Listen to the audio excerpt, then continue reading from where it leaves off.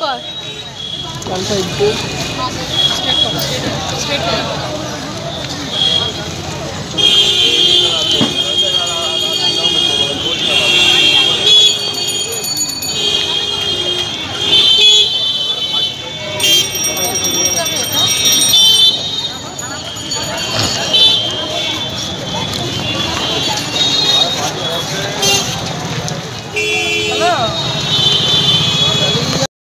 হায়দ্রাবাদ এবং ভারতবর্ষের বিভিন্ন জায়গায় নারীদের উপরে যে পরিমাণে নির্যাতন বেড়ে যাচ্ছে, সেই পরিমাণে আমাদেরকে এই প্রোটেস্ট করার জন্য আমরা আজকে এই র্যালিটা বার করেছি।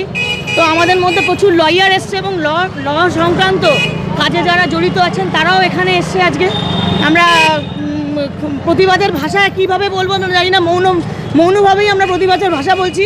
যে এরকম ভারতবর্ষে যদি দিনের পর দিন মহিলা, কারণ মহিলারা হচ্ছে একটা ভিত।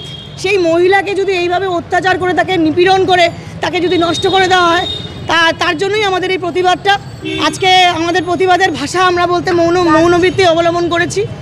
আর সব সমাজে সব রাজ্যে সব রাজ্যে এবং সব আমাদের দেশে এবং সব রাজ্যে যেভাবে মহিলাদের প্রতি অত্যাচার করা হচ্ছে আমরা এর প্রতিবাদের মানে এর প্রতিবাদ করছি এবং ধিক্কার জানাই।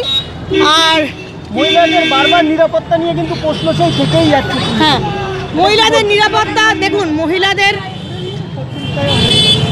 আপনি কি বলতে চাইছেন? হ্যাঁ মহিলাদের নিরাপত্তা নিয়ে প্রশ্নচিহ্নের মুখে আমাদের বারবারে পড়ছি, কারণ আমাদের দেশে আমরা দেখছি যে যা অতি নিম্ন বা অতি উচ্চ সব জায়গায় মহিলারা খুবই অত্যাচারিত হচ্ছে। কিন্তু আমাদেরকে, প্রশাসনকে, প্রশাসনকেই সজাগ থাকতে হবে সব সময় এবং আমাদের যারা মাথার উপরে যে কোনো প্রান্তের যে কোনো প্রান্তের প্রশাসনিক। আরেকটা হচ্ছে দেখা যাচ্ছে অনেক সময় আসামিদের পক্ষে লয়াররা দাঁড়াচ্ছে। আপনারাও লয়ার কি বলবেন? সেখানে কি দাঁড়ানো আমাদের না আমাদের যা যেটা দেখছি দাঁড়ানো উচিত নয় এখানে। কিন্তু কিছু কিছু ক্ষেত্রে আমরা যেহেতু লয়ার আমাদেরকে অনেক সময় অনেকের ক্ষেত্রেই আমাদের দাঁড়াতে হয়। কিন্তু তা বলে এই নয় যে দিনের পর দিন ঘৃণ্য অপরাধ। যেই মেয়েটি আজকে মারা গেছে এবং দিনের পর দিন যা চলছে যে একটি একটি মহিলা আমরা চাইব যে কোনো মহিলা অ্যাডভোকেট অথবা ওই জেলায় যেখানে দাঁড়িয়েছে তারা যেন কেউ ডিফেন্স না করে। এটাই আমাদের আমার নাম সোমাদার, বারাসাত কোর্ট অ্যাডভোকেট